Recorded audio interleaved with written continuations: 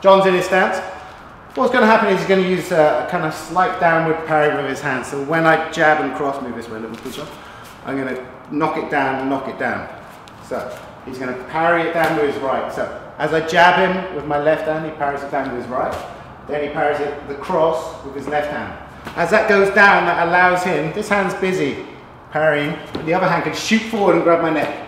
And he can clinch up and give me three knees. So it's a right parry, left parry, grab and knee. Parry, parry, grab, one, two, three. Obviously you kind of want to parry the cross down and grab pretty quick. But when you're learning, start off nice and slow. So parry, parry, grab, and then. You don't ever really want to reach with both hands at the same time to grab my head, because if John does, I can off balance him. If John does, I can come over the top and then elbow. If John does, I can split his hands and knee. So bad things happen when you reach with both hands simultaneously. Safer to keep one hand up and grab with one hand and then with the other hand. Make sure your back of your hands together, your elbows are squeezing on the clinch. You want your elbow tips on their chest, hands on the back of the occipital bone here, tuck their head down and then you can start kneeing to the body and the head. Slowly, parry to the right, parry to the left. Step in, grab the head. One, two, three. So that's the first one. Uh, sometimes though, I'm trying to throw a jab cross on a hook. So John needs to bicep stop me. Move this way, please, John. So he's going to parry, parry, but I'm already loading this left hook. So he sees it. He can cover it first, and then put his hands on my bicep. Or if he's feeling super confident, he can just go straight to the bicep, kind of stiff arm, stop it. From there, he's to go up to my head, and then grab, grab my head, then go three knees. One, two, three. So he knows that I'm likely to throw a hook after a jab cross, so he parry parries and then reaches out, catches that hook. Parry, parry to the bicep, grabs hold of my head, other hand on the head, knee, knee, knee. Notice he's squeezing down with his elbows, elbows on the chest, hands on the back of the head. One more time. Parry to the right, parry with the left. I'm throwing a left hook, his right hand's going to go to my bicep. Boom. His chin is down here just in case it goes wrong, it can roll over the top of his head. So he keeps his chin down, reaches up. Parry, parry, please, John. Bicep control, grabs over my head with the left arm, then the right arm. Let's start knees. One, two, three. Could be three knees, could be six knees, could be nine knees, whatever works for you.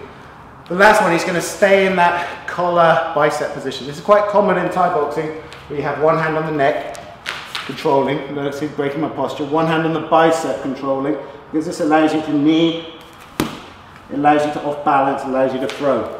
So it's quite a common position, it's very strong. So John's going to go, parry, parry, get bicep control, grab my head. He's going to deliver a right curved knee to my body, boom! So a curved knee, goes out and then shuts down, keeps his hand on my bicep. He's got a left knee on the inside of my thigh as he turns my head down towards the mat, and that will lead to a throw. It's called a steering wheel throw where you grab the head, grab the bicep, and you turn it like it's a big wheel. To facilitate that, it gives me a knee on the inside of my left thigh, take my balance, flips me over. It's a big throw, very common, very effective. Parry, parry, goes to the bicep, grabs my head at the same time. This is called bicep neck tie, gives me a right curved knee, a left inside knee as he turns my head. And you kind of want to do that simultaneous. If you give me like a left switch knee to that thigh jump, as you pull down my head. So left switch knee. Yeah, switch it and then pull down and that's it. Do it again. So he's going to go left switch knee to the inside of the thigh. That's it. And that'll throw me. It's a combination of the knee going to the thigh, head control, and bicep control that us. One more time. Parry, parry, bicep control, right curve knee, left knee to the thigh, turn. So those are three ways of getting into the Thai clinch and how to use a Thai clinch. Let's quickly recap. Number one, it's going to parry down and grab. So it's going to parry right, parry left, grab right, grab left, three knees. Number two, I'm going to throw a left hook on the end. He's going to parry, parry, go to the bicep, then go to my head, both sides, Pretty neat. Next he's going to go to the neck and bicep control. He's going to stay there. Grab, curve knee, and then you can switch and spin. Yeah. That's how you get to the Thai clinch off a jab, cross and hook.